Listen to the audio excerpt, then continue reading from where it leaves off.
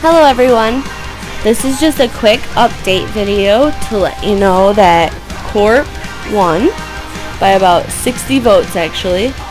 So for the next week I am going to do 4 to 6 man loot share or coin share team and then at the end of the week I will show you the drops that I've gotten and then I'll go through and sell them and tell you the total that I have made. So, alright, I'm going to get back in the kitchen and make some sandwiches. So, bye!